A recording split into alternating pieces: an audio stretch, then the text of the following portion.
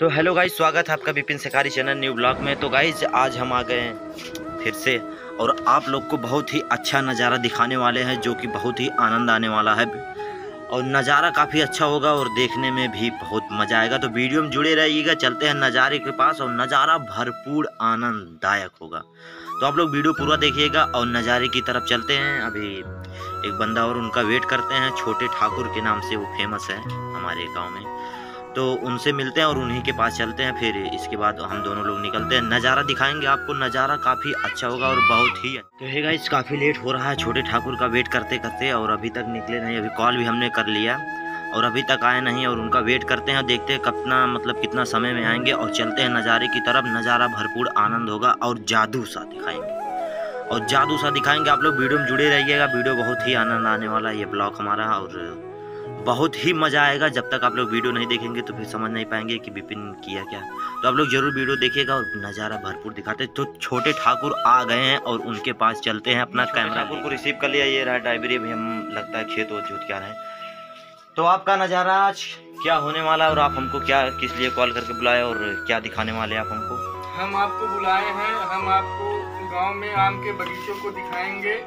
और इनके बगीचे में एक जादुई आम का पेड़ है वो सचमुच आपको दिखाएँगे।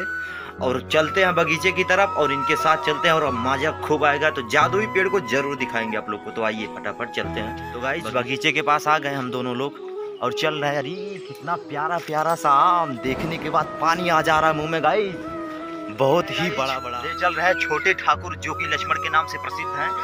और बहुत ही मज़ा आने वाला वो रहा बड़ा बड़ा आम। और आम को देखने के बाद सच में बहुत लाली खाने का मन कर रहा है। बट क्या करे? छोटे ठाकुर का डर है कि मार ना दे, ये देखो प्यारा प्यारा आम। तो गाइस प्यारा प्यारा आम लगा है इधर भी, और ये बहुत सारे आम हैं, सब लटके। अरे वाह कितना अच्छा अच्छा आम। छोटे ठाकुर का डर नहीं होता तो सच में कच्चे आम खा जाते और बहुत सारा खाते। तो छोटे ठाकुर के पास चल रहे हैं और पूछते हैं इनसे मतलब ये ये सब आम कैसे तैयार हुआ और मतलब कितना समय लगा। और जो जादुई पेड़ है ना आम का वो तो आप लोग को पक्का दिखाएँगे। क्योंकि उसमें मुझे तो लग रहा है बहुत सारे आम होंगे जैसे ठा, छोटे ठाकुर साहब बताए कि जादुई आम है और आम का पेड़ है मतलब उसमें बहुत सारे आम लगते हैं। तो चलते हैं और उनसे पूछते हैं कि कितना अच्छा आम है और क्या मतलब उसमें क्या खासियत है कि जो उसके जादुई नाम से वो प्रसिद्ध आम है। तो फटाफट चलते हैं उनके पास और पूछते हैं और ये रहा सारा आम हमारे पीछे भी आम इधर ऊपर है थोड़ा और इधर भी है। और ये रहा गाइज़ आम ऊपर। अभी नज़दीक जो आम होगा उसके पास चलते हैं तो आप लोग को दिखाते हैं और पूछते हैं इनसे। तो छोटे ठाकुर जी ये बताइए आप ये आम कैसे मतलब बहुत टाइम लगा होगा ना इस आम को मतलब पैदा करने में? और कितना समय लग गया होगा लगभग? गाइस आम वास्तव में बहुत ही अच्छा है और बहुत ही लालच लग रहा पर छोटे ठाकुर की डर है कि मुझे नहीं खाना पड़ रहा है। तो पचास वर्ष हो गया और घूम घूम कर दिखा रहे इधर सब आम है और उधर है भी, और बहुत ही अच्छा मतलब यहाँ का आनंद ही बहुत कुछ आ रहा है। बहुत ही अच्छा लग रहा है, यहाँ पे नज़ारा काफ़ी अच्छा होगा, उधर सारा बाग है, बहुत से बाग हैं और सबसे मज़ा ये आ रहा कि यहाँ ठंडी ठंडी हवा मिल रही और बहुत ही मज़ा आ रहा है। तो छोटे ठाकुर जी से पूछते हैं तो आप ये बताइए कि जो जादुई आम का पेड़ है वो कहाँ पे है? ये उधर है। हाँ तो अभी उसके पास चलते हैं वही तो मेन नज़ारा है। जी। और कितना समय लग गया होगा लगभग उस आम को? जी पचास वर्ष हो गया पचास वर्ष हो गया गाइस उस आम को और बहुत ही प्यारा आम होगा क्योंकि अभी हमने देखा उधर भी आम सब फरे थे और बहुत ही अच्छा लगा। आम अगर आपकी इजाज़त हो तो एक आम खा सकते हैं तो भाई। एकदम एकदम आइए आप ही के तो लिए है। और छोटे ठाकुर जी मान गए और आम खिलाने के लिए मुझे ले चल रहे हैं तो आप लोग को भी दिखाते हैं। और बहुत ही प्यारा आम है क्योंकि कोई भी हो अगर आम छोटे हो और बहुत ही अच्छा लगता है पर बट जब वो बड़ा होता तब भी अच्छा लगता है लेकिन छोटा का खाने का स्वाद कुछ और होता। है चलता है और आम ये हमको खिलाने वाले तो आप ये बताइए हमको जादुई वाला आम खिलाएँगे कि नॉर्मल आम खिलाएँगे? देखिए मैं आपको नॉर्मल आम खिलाऊँगा जो जादुई आम है इस आम का पेड़ है इस टाइम फरा नहीं है। और गाइस इस टाइम वो आम फरा नहीं है। हरा नहीं है और, और- आपको, आपको मैं आपको दिखाता हूँ पेड़ को भी दिखा दिखा देता हूँ पेड़ को आप दिखाएँगे तो फटाफट चलते पहले आम खाते इसके बाद फिर पेड़ को दिखाते क्योंकि आम का देखने के बाद मुँह में पानी आ गया तो पहले उसको संतुष्ट करते इसके बाद जादुई पेड़ दिखाएँगे। आप लोग को वीडियो जुड़े रहिए वीडियो बहुत ही मज़ा आने वाला जादुई पेड़ और आम। ये गाइस हमारे ऊपर आम। प्यारा सा आम इसको देखने के बाद आप लोग को भी लालच लग रहा होगा। बहुत ही अच्छा ठाकुर ने हमको आम दे दिया और इसको चेक करते हैं और अभी मतलब चोपी वगैरह वाला सिस्टम निकाल दिए हैं। बहुत ही अच्छा लगता है। और इसको चेक करते हैं बहुत ही मज़ा आएगा क्योंकि आम देखने में बहुत खूबसूरत है तो खाने में कितना खूबसूरत होगा आप लोग गेस करिएगा। हम्म, खट्टा तो है पर है बहुत बढ़िया। अब हमारा यह वीडियो अब इधर हमारे सामने खड़े छोटे ठाकुर। जो कि हमको आम खिला दिए। बहुत बहुत धन्यवाद आपको जो कि हमको आम खिला दिए।